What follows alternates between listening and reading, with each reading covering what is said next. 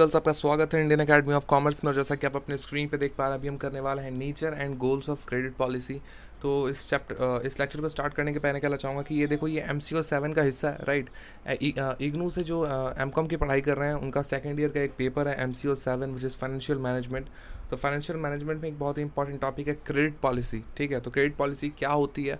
उसका क्या नेचर है? और उसको, उसके क्या गोल्स होते हैं? उसकी क्या ऑब्जेक्टिव्स होती है? वो हम हम हमारे इस वीडियो लेक्चर में करेंगे। आई होप कि आपको पसंद आएगा। इससे जो एक क्वेश्चन निकल करके आता है कि क्या क्वेश्चन इसके ऊपर बन सकता है तो वो ये हो सकता है कि what are the goals of credit policy ठीक है? इस तरह का क्वेश्चन आपके एग्जामिनेशन में आ सकता है, इसलिए मैं ये वीडियो बना रहा हूँ। आई होप कि आपको पसंद आएगा। वीडियो पूरा देखिएगा, तभी आपको पूरी की पूरी जानकारी मिल पाएगी। ठीक है तो लेक्चर स्टार्ट करते हैं। उसके पहले कहना चाहूँगा कि अगर आप हमारे चैनल पर नए हैं तो हमारे चैनल हमारे चैनल को सब्सक्राइब कर लीजिए और बेल आइकन दबा दीजिए ताकि आपको मेरे वीडियोज़ की नोटिफिकेशन मिलती रहें। तो आइए आज का लेक्चर स्टार्ट करते हैं। ठीक है तो सबसे पहले क्रेडिट पॉलिसी क्या होती है? तो क्रेडिट का मतलब क्या होता है? देखो क्रेडिट का मतलब यहाँ पे होता है उधार। ठीक है, जब आप किसी को पैसे दे रहे हो, किसी का कोई काम करने के लिए तो जो आप उसे पैसे दे रहे दे रहे हो, उसे हम कहेंगे क्रेडिट ठीक है, अगर सिंपल वे में समझा जाए। फॉर एग्ज़ाम्पल आप मान लो किसी से कोई सामान परचेज़ कर रहे हो right for uh, rupees 10000 or 15000 and he is giving the same product to you for rupees uh, uh, for rupees 15000 uh, of sure but uh, uh, he is not taking any cash from you. He is giving you on credit. ठीक है? उधार पे वो आपको सामान दे रहा है। Right right, जिस तरह से वो उधार पे सामान दे रहा है उसी तरह से कई बार होता है कि लोग जो है उधार पे मतलब पैसे देते हैं। उधार कह रहा हूँ लोग पैसे देते हैं उसी तरीके से कि आप जो है जब आपके पास पैसे होंगे आप मुझे वापस कर देना। तो जो वो पैसे देते हैं या फिर जो वो सामान दे रहे हैं उसको हम क्या कहेंगे? उसको हम कहेंगे क्रेडिट ठीक है? वो याद रखना है आपने। आइए इसका नेचर देख लेते हैं। The term credit policy refers to those decision variables that influence the amount of the amount of trade credit ठीक है? क्रेडिट पॉलिसी का मतलब ये होता है कि वो सारे डिसीज़न वेरिएबल्स जिसका असर जो है, जो अमाउंट है ट्रेड क्रेडिट का उसके ऊपर पड़ता है। तो कौन कौन से ट्रेड वेरिएबल्स हैं? आइए देख लेते हैं। द इन्वेस्टमेंट इन रिसीवेबल्स ठीक है? जो भी इन्वेस्टमेंट उनके रिसीवेबल्स पे होगा उसके ऊपर क्रेडिट का जो है असर पड़ेगा। A firm's credit policy determines the amount of risk a firm is willing to undertake in its sales activities ठीक है? इफ़ एक फर्म की जो क्रेडिट पॉलिसी होती है वह यह डिटरमाइन करती है ठीक है? या फिर आ, आ, उनको जो फ़ायदा होने वाला था वो कितना रिस्क वहाँ से ले रहे हैं। राइट वो उनकी क्रेडिट पॉलिसी जो है वहाँ से पता चलती है कि कोई कोई भी फार्म जो है वो कितनी इंटरेस्टेड है किसी भी अपने पैसे को जो है किसी को देने के लिए वो क्योंकि अगर वो पैसे दे रही है तो इसका मतलब एक तरीके से रिस्क ले रही है। तो वो कितना रिस्क ले पा रही है, ये सब कुछ डिपेंड करता है उनके सेल्स एक्टिविटीज़ के माध्यम से। ठीक है, उनके क्रेडिट पॉलिसी के माध्यम से। If the credit policy is liberal and lenient अगर क्रेडिट पॉलिसी बहुत ही लिबरल होती है मतलब बहुत ही आसानी से जो है आप लोन दे देते हो, अगर लीनियंट होती है receivables will be at higher level ठीक है? आप आप देखोगे कि जो भी पैसे आपको रिसीव होंगे ठीक है as a as an interest या फिर जो भी प्रिंसिपल रिसीव होंगे वो बहुत ही ज़्यादा होंगे as compared to as compare to in case of rigid policy अगर रिजिड पॉलिसी होगी तो हो सकता है आपको जो uh, जो रिसीवेबल्स है जो आपका जो आपको फ़ायदा हो रहा है जो आपको बेनिफिट हो रहा है वो कम हो। ये बहुत ही सिंपल सा एक फिनोमिना आप देखो आप। आप अगर बहुत ही आसानी से किसी को पैसे दे दोगे तो एक तरह से एक ट्रस्ट बिल्डअप होता है जिसके कारण से जिस आदमी को आप पैसे दे रहे हो वो भी आपको बहुत ही तुरंत जो है पैसे वापस कर देता है with all the interest which you have charge ठीक है ना तो ये चीज़ होती है। बट अगर आप रिजिड पॉलिसी में अपनाओगे तो सबसे पहला बात तो आप लोन दे ही नहीं पाओगे, क्योंकि आप बहुत सारी चीज़ों में को देखना चाहोगे, उसके बाद आप लोन दोगे। एज अ बैंक अगर मैं देखूँ तो बैंक जो होती है, वो जल्दी किसी को लोन नहीं देती। वो बहुत ही रिजिड पॉलिसी कभी कभी अपनाती है, जिसमें वो बहुत सारे डॉक्यूमेंट्स चेक करती है और वो जो है लोन देना नहीं चाहती है जल्दी से, है ना? तो उसके कारण से क्या होता है कि उनका जो बेनिफिट है, उनको जो फ़ायदे मिलने चाहिए, वो उतनी अच्छे से ग्रो नहीं कर पाती, जितने अच्छे से उनको ग्रो करना चाहिए। फॉर एग्ज़ाम्पल सबसे बड़ा एग्ज़ाम्पल मैं अगर अभी लूँ तो बजाज फिनजर्व का आपने नाम सुना होगा, जो कि फाइनेंस कंपनी है बजाज की, जो फाइनेंस करती है अगर आप मोबाइल फ़ोन खरीद रहे हो या फिर किस, कोई भी तरह के इलेक्ट्रॉनिक प्रोडक्ट खरीद रहे हो तो फिर वो वहाँ से जो है आपको फाइनेंस करती है। तो देखो ये एन है नॉन बैंकिंग फाइनेंशियल ऑर्गेनाइजेशन है। बैंक नहीं है ये, लेकिन फिर भी देखो इसकी जो, इसका जो बेनिफिट इसका जो कंपनी है, वो छोटी सी कंपनी थी, कितनी बड़ी अभी कंपनी हो गई। क्यों? क्योंकि इनकी क्रेडिट पॉलिसी बहुत अच्छी है। वो जो है, बहुत ही लिबरल पॉलिसी अपनाते हैं, आसानी से आपको लोन दे देते हैं, चाहे वो थर्टी थाउज़ेंड हो फोर्टी थाउज़ेंड है, जो भी है। और फिर वो जो है चूँकि वो बहुत ही सस्ते पे लोन दे देते हैं तो फिर सस्ते पे नहीं देते रेट रेट, रेट तो उनका भी बैंक की तरह ही होता है बट फिर भी बहुत ही आसानी से चूँकि वो दे देते हैं पर्सनल लोन हो या फिर कोई भी लोन हो तो उनकी कंपनी अच्छी तरीके से ग्रो भी कर कर पा रही है। ठीक है ना? तो नेचर डिपेंड करता है कि कौन सी कंपनी जो है वो कितनी इंटरेस्टेड है कितना रिस्क वो लेना चाह रही है वो कितनी लिबरल है या कितनी रिजिड है। ठीक है? ये ये नेचर है किसी भी कंपनी का जो कि हमें समझ में आता है। ठीक है? तो देखो ऑब्जेक्टिव क्या है क्रेडिट पॉलिसी के? The objective of the the objective of credit policy that is receivables management is threefold ठीक है तो जो ऑब्जेक्टिव है क्रेडिट पॉलिसी का जो रिसीवेबल होगा, जो रिसीवेबल्स की जो मैनेजमेंट होगी, वो थ्री फोल्ड में होगी मतलब तीन तरीके से होगी, तीन दौर में होगी, तीन सिचुएशंस में होंगी। For example to maintain optimum level of investment in receivables सबसे पहला जो इनका ऑब्जेक्टिव होता है कि ये होता है कि जो भी रिसीवेबल्स उसके पास आ रही हैं, उसका जो मेंटेन है, वो ऑप्टिमम लेवल पे हो, अच्छे लेवल पे उनको रिसीवेबल्स मिले, उनको जो है अच्छा रिटर्न मिले। To keep down the average collection period यहाँ पे देखो टी एल आई ई लिखा हुआ, वो द है, ठीक है टी एच ई है वो प्रिंटिंग मिस्टेक के कारण वैसे दिक्कत आ रही है। To keep down the average collection period ठीक है? वो लिख करके रखते हैं कि उनका जो एवरेज कलेक्शन है, वो किसी पीरियड में कितना हो रहा है, कितना नहीं हो रहा है।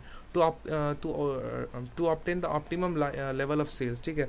जो एक अच्छा लेवल ऑफ़ सेल जो है, वो वहाँ से वो अचीव करना चाहते हैं। तो ये इनका थ्री फोल्ड जो है रिसीवेबल मैनेजमेंट होता है। There are three steps in credit policy अब देखो क्रेडिट पॉलिसी में भी तीन तरह के स्टेप होते हैं। कौन कौन से हैं? First the credit credit policy is to be formulated माफ़ी चाहूँगा। First the credit policy is to be formulated by deciding credit conditions ठीक है ना? सबसे पहले जो होता है क्रेडिट पॉलिसी आपको फॉर्मुलेट करना होता है, जो भी डिसाइडिंग क्रेडिट कंडीशंस होते हैं, उसके माध्यम से। उसके बाद उसके अलावा जो टर्म्स एंड स्टैंडर्ड्स हैं, उनको फॉलो करना होता है। दूसरी बात जो यहाँ पे बोली जा रही है secondly the credit policy is to be executed तो जो आप क्रेडिट जो आप पॉलिसी जब आपने बना ली तो फिर उस पॉलिसी के आधार पर जो है आपको लोन देने हैं है ना? थर्डली जो बात यहाँ पे बोली जा रही है वो ये है कि the credit policy is to be valuated by collecting and analysing information अब जो क्रेडिट पॉलिसी आपकी है है ना उसको आप इवेलुएट करोगे उसको आ, उसको आप चेक करने की कोशिश करोगे, आप चेक कैसे करोगे? उस केस में आपको क्या करना पड़ेगा? आपको जो है इवेलुएट करना होगा करने के लिए आपको डेटा कलेक्ट करना होगा और फिर उस डेटा को एनालाइज करना होगा। ठीक है ना? जो भी इन्फॉर्मेशन आपको मिलेंगी, उसको आपको कलेक्ट करना है और फिर एनालाइज करना है। अब देखो गोल क्या होता है क्रेडिट पॉलिसी का? तो चार यहाँ पे गोल दिए हुए हैं। Achieving growth in sales sales में आपको ग्रोथ अचीव करना चाह रहे हो। दूसरा है इंक्रीजिंग प्रॉफिट आप अपने प्रॉफिट में बढ़ोतरी चाहते हो। तीसरा है मेंटेनिंग लिक्विडिटी आप चाहते हो कि आपके पास कैश रहे कैश का जो मेंटेनेंस है वो बना रहे आपके पास। मीटिंग कॉम्पिटिशन और जो कॉम्पिटिशन मार्केट में है एग्जिस्टिंग या फिर जो आगे जा करके होने वाला है, आप मार्केट में अच्छी तरीके से कम्पीट कर पाओगे अगर आपकी क्रेडिट पॉलिसी बेहतर होगी तो। तो ये गोल्स होते हैं क्रेडिट पॉलिसी के, ठीक है? उसके बाद देखो कुछ पॉइंट्स और हैं। ठीक है, दो पैराग्राफ है, उसको पढ़ लेते हैं। The main purpose of granting credit is to increase sale जो मेन पर्पस होता है, वो यही होता है कि जो सेल्स है, उसमें इंक्रीज करना। अब सेल में इंक्रीज होगा तो प्रॉफिट में इंक्रीज होगा। सीधी सी बात है some customers who are not in a position to pay cash are attracted due to credit facilities अब देखो, बहुत सारे कस्टमर होते हैं ना, वो इस सिचुएशन में नहीं होते कि वो कैश पे कर सकें। फॉर एग्ज़ाम्पल मैं अगर अपना ही, अगर मैं एग्ज़ाम्पल लूँ तो अचानक से अगर मुझे बहुत बड़ा एक अमाउंट जो है अब मुझे पे करना पड़ जाए तो क्या मैं पे कर पाऊँगा अचानक से? नहीं कर पाऊँगा, कोई भी नहीं कर पाएगा, क्योंकि किसी के पास भी इतना कैश नहीं होता है। तो उसके कारण वो क्रेडिट फैसिलिटीज़ को उठाना चाहते हैं। वो चाहते हैं कि उनके पास एक ऐसी फैसिलिटी हो, जहाँ से वो पैसे उठा करके जो है, उसका इस्तेमाल कर सकें। ठीक है? इसी का एक एक एग्ज़ाम एक, इसी का एक प्रभाव है, जिससे क्रेडिट कार्ड जो है, वो काफ़ी अभी के टाइम पर चला हुआ है। है ना? ईएमआई कार्ड अभी काफ़ी बहुत चला हुआ है। क्यों चला हुआ है? क्योंकि लोगों को पैसे उधार पे चाहिए, लोगों को पैसे अचानक से, क्योंकि पैसे अचानक से तो किसी के पास नहीं होते ना। एक लार्ज रकम जो है अचानक से किसी के पास नहीं होती है। तो उसके कारण से ये चीज़ होती है। When sales increases the profit will also increase जो मैंने आपको बताया, अभी अगर सेल इंक्रीज होगा तो प्रॉफिट भी इंक्रीज होगा। The higher margin of profit is charge on credit sales ठीक है? तो जो क्रेडिट सेल के ऊपर देखो, जो हाइयर मार्जिन ऑफ़ प्रॉफिट इसमें चार्ज किया जाता है, जो प्रॉफिट का जो मार्जिन है वो काफ़ी ज़्यादा होता है, क्योंकि आप देखो, एक तरीके से आप रिस्क ले रहे हो। आप जब उधार दे रहे हो किसी को अपने पैसे तो आप एक एक तरीके से रिस्क ले रहे हो राइट तो जो रिस्क प्रीमियम है वो रिस्क जो है, वो एक्स्ट्रा मार्जिन ऑफ़ प्रॉफिट के रूप में जो है लोग लेते हैं। Since accounts receivables can be converted into cash so they can so they help to maintain liquidity as compare to inventories ठीक है? तो जो अकाउंट जो रिसीवेबल होते हैं, जो अकाउंट्स रिसीवेबल होते हैं, उसको हम जो है बहुत ही ईजिली कैश में कन्वर्ट कर सकते हैं। Right right. इससे क्या होता है कि जो आप लिक्विडिटी अपनी कंपनी में मेंटेन करना चाह रहे हो वो आप, आप आसानी से कर पाओगे instead of maintaining the inventories inventories को मेंटेन मेंटेन करना इतना आसान नहीं होता जितना कैश को होता है और कैश आपको बहुत ईजिली मिल भी जाएगा बिकॉज़ जो भी अकाउंट्स रिसीवेबल्स आपके पास है आप उसको चाहो तो कैश में कन्वर्ट कर सकते हो। अब देखो अकाउंट्स रिसीवेबल्स में क्या क्या चीज़ें आएँगी। देखो बिल्स ऑफ़ एक्सचेंज आ जाएगा चेक आ जाएगा आपका है ना? प्रॉमिसरी नोट आ जाएगा। इस तरह की जो चीज़ें होती हैं राइट नेगोशिएबल इंस्ट्रूमेंट एक्ट इसको जो कहते हैं हमारा। नेगोशिएबल इंस्ट्रूमेंट जो है, ये सारे एक तरह से रिसीवेबल अकाउंट्स होती हैं, है ना? जिसमें आपको जो है पैसे मिलते हैं किसी और से। तो ये जो पैसे होते हैं, आप इसको जब चाहो कैश में इसको कन्वर्ट करवा सकते हो, आपको बस बैंक जाना होता है। तो ये काफ़ी आसान है, ये बात यहाँ पे बोली जा रही है। Sometimes in situations of intense competition in the market with other firms may be able to meet competition through credit sales ठीक है ना?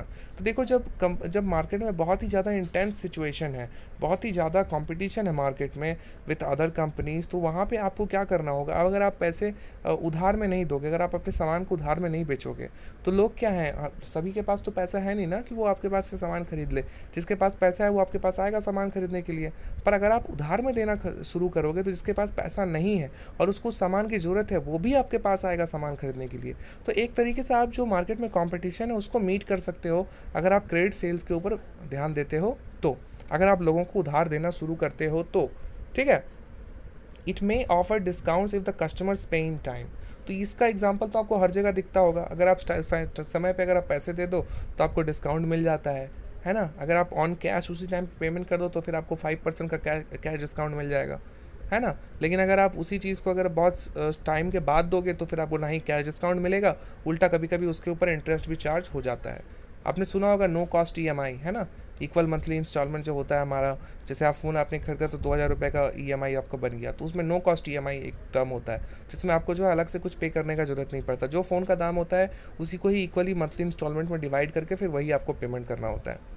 ठीक है ना, वो नो कॉस्ट होता है। बट कभी कभी विथ कॉस्ट ईएमआई या फिर इंक्लूसिव ऑफ़ कॉस्ट ईएमआई ये भी होता है, जिसमें आपको जो है इंटरेस्ट चार्ज किया जाता है। राइट तो वो चीज़ सही नहीं है। है ना? अगर आप कैश पेमेंट कर दोगे तो फिर आपको उस तरह की कोई झंझट नहीं होगी। है ना? तो ये बात यहाँ पे बोली जा रही है कि लोगों को जो है डिस्काउंट भी दिया जाता है अगर वो टाइम पे पेमेंट कर देते हैं तो। When a firm adopt more liberal credit policy जब एक जब कोई फर्म बहुत ही ज़्यादा लिबरल क्रेडिट पॉलिसी अपनाती है no doubt sales and profit increases वहाँ पे क्या होता है ना कि जो सेल होता है वो जो है बढ़ता नहीं है प्रॉफिट जो होता है वो भी अचानक से एकदम नहीं बढ़ जाता। But there is a risk of more bad debts ठीक है? तो जब आप लिबरल ज़्यादा पॉलिसी अपना रहे हो तो जहाँ जहाँ तक वहाँ पे सेल्स और प्रॉफिट में इंक्रीज तो हो ही रहा है है ना? वहाँ पे होने के चांसेस बहुत ज़्यादा हैं। अगर आप लिबरल क्रेडिट पॉलिसी अपनाओगे, लोग जो है ज़्यादा इंटरेस्टेड होंगे आपके पास से सामान खरीदने के लिए बिकॉज़ उसको पेमेंट करने की ज़रूरत नहीं पड़ी उसी टाइम पर बट इसके साथ ही साथ जो यहाँ पे नेगेटिव पॉइंट बताया गया है, वो ये है कि इसके साथ साथ ही साथ रिस्क ऑफ़ मोर बैड डेप्ट भी हो जाता है। बैड डेप्ट का मतलब होता है जब आपके पैसे डूब जाते हैं पूरी तरह से। आपने किसी को पैसे उधार दिए बट उसने पैसे आपको दिए नहीं। मान लो उसकी डेथ हो गई या कुछ अगर हो गई। इसी तरीके से हमारे बैंक में एनपीए भी काफ़ी जमा हो गया है। है ना? आपको पता होगा। तो इस तरह की अगर दिक्कत हो जाती है ना तो फिर आपका जो पैसा है वो पूरी तरीके से डूब जाता है। तो जब आप पैसे दे रहे हो, बहुत ही क्रेडिट जब बहुत ही लिबरल पॉलिसी अगर आप बना मतलब मान रहे हो लिबरल पॉलिसी अगर आप अपना रहे हो तो फिर जो रिस्क ऑफ़ बैड डेप्ट है वो भी आपका काफ़ी ज़्यादा बढ़ जाएगा ठीक है? A stringent credit policy, on the other hand, reduces but increases liquidity of the firm. ठीक है? लेकिन अगर आपके पास अगर कोई स्ट्रिंजेंट क्रेडिट पॉलिसी है ठीक है ना? मतलब एकदम रिजिड भी नहीं है एकदम लिबरल भी नहीं है तो उस केस में क्या होगा कि आपकी जो प्रॉफिटेबिलिटी है वो कम जाएगी लेकिन आपका जो लिक्विडिटी है फर्म का वो बढ़ जाएगा। ठीक है। The following figure show how the credit policy effects its profitability and liquidity तो ये जो फिगर आप देख पा रहे हो, इससे आपको पता चल चल पाएगा थोड़ा बहुत कि किस तरीके से जो क्रेडिट पॉलिसी है वो प्रॉफिटेबिलिटी और लिक्विडिटी के ऊपर इसका असर डालती है। ठीक है? देख लो आप। देखो क्या हो रहा है, जब लिक्विडिटी जब आप क्रेडिट लिबरल पॉलिसी अपना रहे हो तो देखो आपकी लिक्विडिटी बढ़ती जा रही है ना। जैसे जैसे आपका कॉस्ट एंड बेनिफिट्स बढ़ रहा है, वैसे वैसे आपकी लिक्विडिटी भी बढ़ रही है। बट जैसे ही आप रिजिड पॉलिसी अपना रहे हो, आपकी प्रॉफिटेबिलिटी जो है, वो भी घटना शुरू हो जा रही है, वो भी नीचे की तरफ़ आना शुरू हो जा रही है। ये वाला जो दाग है। ठीक है? तो ये हमारा पूरा लेक्चर था। आई होप कि आपको पसंद आया होगा। पसंद आया तो लाइक कमेंट और शेयर कीजिए और हमारे चैनल को सब्सक्राइब कर लीजिए। आज का जो हमारा टॉपिक था वो था credit policy nature and goals of credit policy ठीक है तो ये काफ़ी इंपॉर्टेंट टॉपिक था। आप इसको अच्छे से वीडियो को वॉच कीजिएगा ताकि आपको सारी जानकारी मिल पाए। इसके अलावा मैं कहना चाहूँगा कि हमारे प्लेलिस्ट पे आप विज़िट कीजिए। हमारे चैनल के प्लेलिस्ट पे आप विज़िट कीजिए। वहाँ पे आपको बहुत सारी वीडियोस मिलेंगी, जिसको आप देख करके आप एग्जामिनेशन के प्रिपरेशन को अच्छे तरीके से कर पाएँगे। ठीक है? तो ये हमारा आज का पूरा लेक्चर था। आई होप के आपको पसंद आया होगा। पसंद आया तो लाइक कमेंट और शेयर करना बिल्कुल मत भूलिएगा। और please subscribe my channel and hit the like button ठीक है? हम आपसे मिलते हैं हमारे नेक्स्ट वीडियो में। तब तक के लिए आप अपना ख्याल रखिए। शुक्रिया। Thank you take care and bye